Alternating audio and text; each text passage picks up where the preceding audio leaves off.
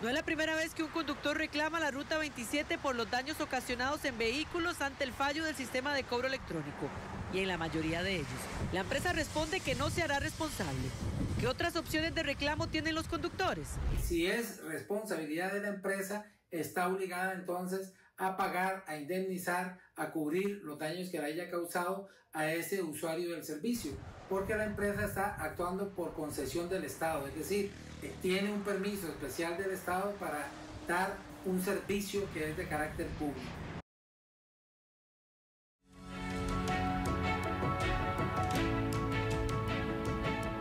8 con 26, gracias por continuar con nosotros. Preste atención a esta historia porque le podría pasar a usted en cualquiera de los peajes de nuestro país. Y es que un conductor reclama a Global Vía más de 700 mil colones por daños en su vehículo ocasionados por la aguja del peaje en Escazú. La denuncia o denuncia que la concesionaria no se hace responsable de los fallos en el sistema de cobros. Entonces, ¿cómo se tiene que proceder en estos casos ante la negativa de pagar? Todos los detalles los tiene la periodista Cristina Hidalgo, a quien le doy las buenas noches. Adelante, Cristina.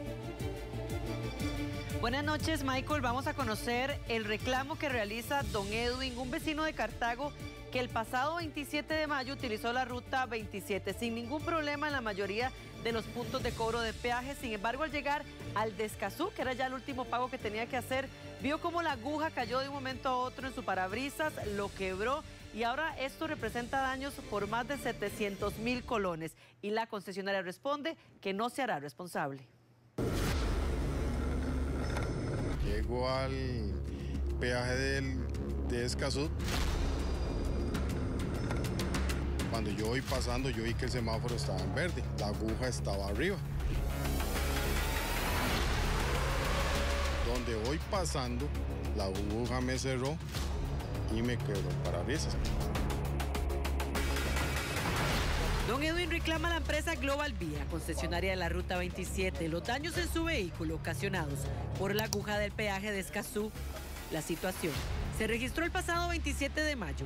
Don Edwin asegura que durante todo el recorrido por la carretera no tuvo problema en el sistema de cobro automático. Sin embargo, al llegar a Escazú y con la luz verde para avanzar, vio como la aguja cayó de pronto y quebró el parabrisas de su vehículo.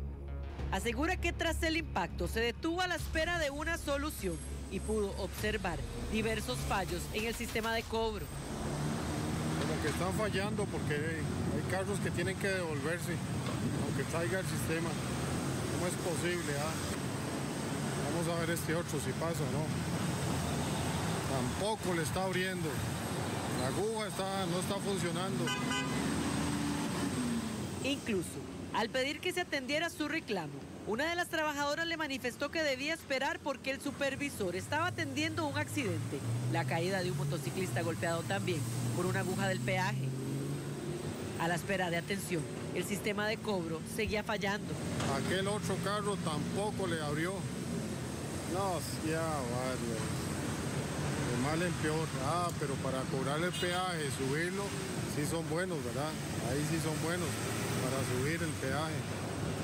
Para cobrar ese montón de plata, ahí sí son buenos. Minutos después llegó el supervisor, quien llenó una boleta con la información del incidente y aseguró que la empresa lo contactaría lo cual ocurrió días después por correo electrónico y con una respuesta no esperada. Y después de ahí, unos cuatro o cinco días más o menos, me respondieron por correo que, no, que, yo simplemente pasé en rojo y que nos iban a ser responsables. Simplemente nada más dicen ellos, eh, pasó en rojo, no me dan pruebas contundentes, ¿verdad? Un video que diga, bueno, usted vea, pasó en rojo y no, simplemente que, no, que solo al OIJ le van a dar el, si lo llegan a meritar, que se lo dan a ellos nada más. Don Edwin asegura que tiene las pruebas necesarias para hacer valer su reclamo. Lamenta la posición de la empresa concesionaria y analiza otras acciones a tomar ante el costo significativo que representa reparar el vehículo dañado por la aguja del peaje de la ruta 27. Paso con el Cuipad, me rebajan de la tarjeta y ahí yo tengo los pantallazos, ¿verdad? Donde me hicieron las rebajas lo coticé en Faco y me están cobrando más de 700 mil colones, más la instalada. Habría que ver también que tomar en consideración el tiempo y los stickers, ¿verdad? Que hay que ver si se van a salvar o no. Si no me va a tocar ir a hacer todo ese montón de vueltas para ponerlos de nuevo. No es la primera vez que un conductor reclama la Ruta 27 por los daños ocasionados en vehículos ante el fallo del sistema de cobro electrónico. Y en la mayoría de ellos, la empresa responde que no se hará responsable. ¿Qué otras opciones de reclamo tienen los conductores?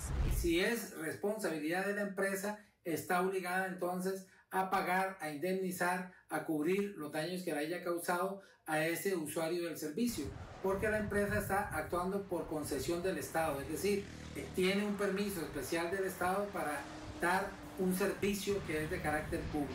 Si la persona tiene las pruebas necesarias y demás, puede acudir ante un juzgado civil a hacer valer sus derechos contra la empresa encargada del control de los peajes por el daño que sufrió su vehículo. En Noticias Telediario consultamos a la empresa concesionaria sobre el caso de Don Edu. Aseguran que la aguja bajó porque no se detectó el Quick Pass del usuario y agregan que el conductor no respetó el semáforo en rojo. Aseguran que el usuario tiene el cobro de la tarifa registrada porque tras el incidente se le hizo el cobro, es decir, la lectura del dispositivo. Pese a lo dicho por la empresa, don Edwin mantiene su reclamo y no descarta tomar otras acciones legales para que la empresa suma la responsabilidad por los daños ocasionados a su vehículo. Le informó Cristi Hidalgo, Noticias Telediario.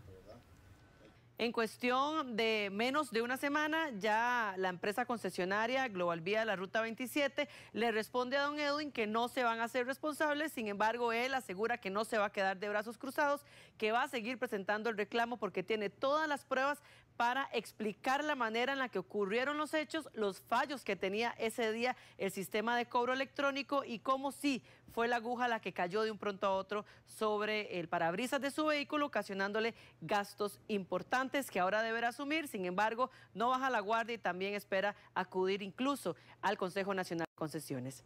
Este es el reporte que tenemos. Continuamos con más información en Noticias Telediario.